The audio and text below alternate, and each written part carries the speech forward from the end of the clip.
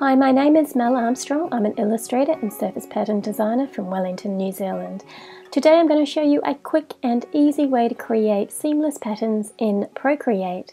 I'm also going to show you how to upload those patterns to Spoonflower to print on fabric. Let's get started. So I have a canvas here. I will show you that it is 10 by 10 inches and it's 300 dpi. You can choose any size you like as long as it's a square. So I'm going to draw some dragonflies.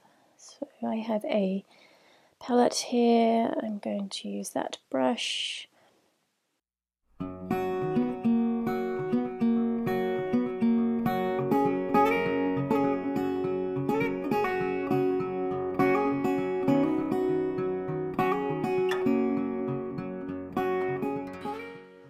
I'm going to use a clipping mask to add some detail to the wings.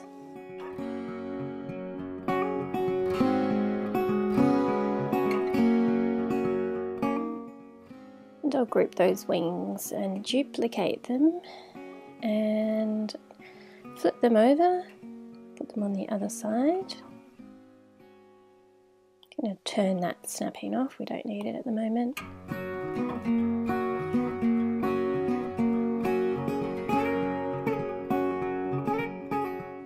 To group all those groups together and I'm going to merge and flatten it. I'm going to duplicate that. We might scale them down a bit.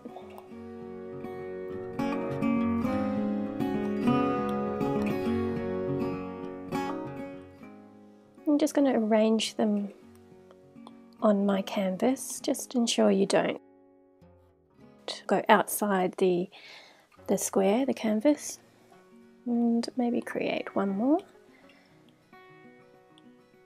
make this one a bit smaller.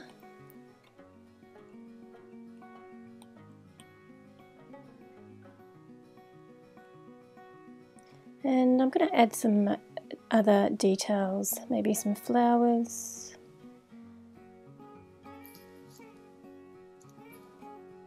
Go with some branches first.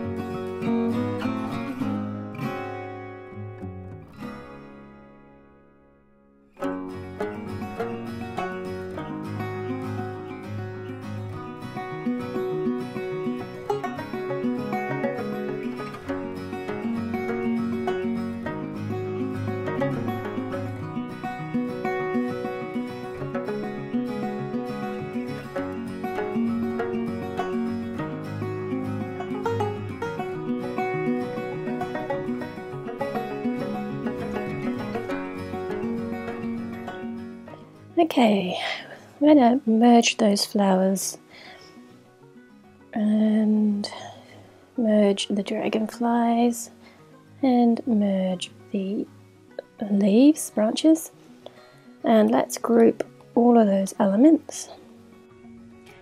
Okay, now it's time to create a pattern. So first I'm just going to add a background layer to this.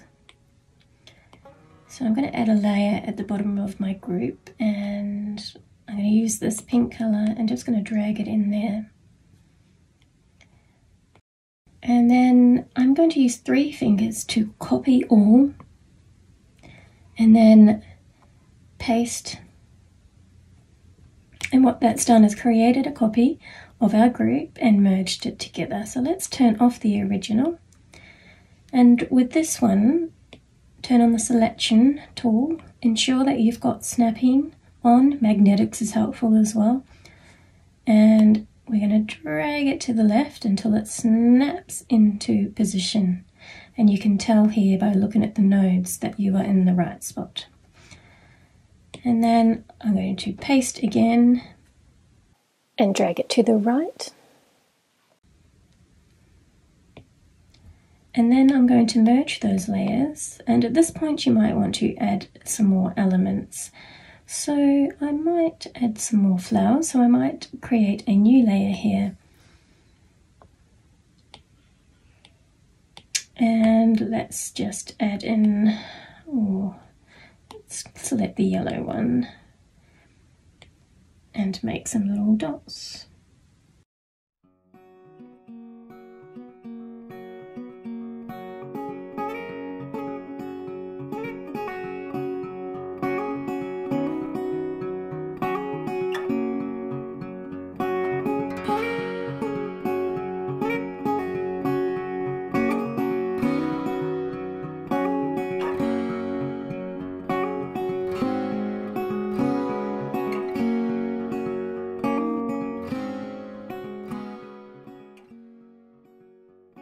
Let's merge all of those layers.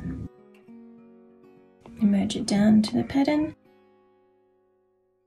Copy that layer, paste it, and let's drag that one to the top.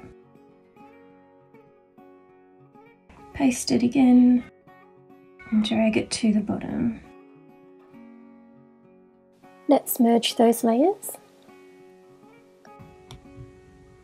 To test that I'm just going to duplicate it and resize it down to the bottom quadrant. And let's duplicate that and drag it up. And you can see that that's matching up. Merge it down duplicate it drag it across. And now you can see it repeats beautifully. So let's remove that. That's our repeating tile. I'm going to export it as a JPEG and just save it to my photos. So here we are in Spoonflower. I'm going to upload my design, select my file from my photo library,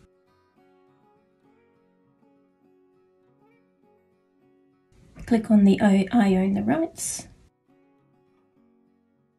then upload.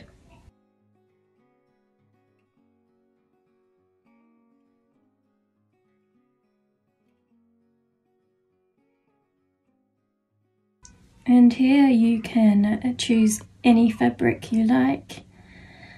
You can select a test swatch or a fat quarter or yards and then add to your cart and have it printed.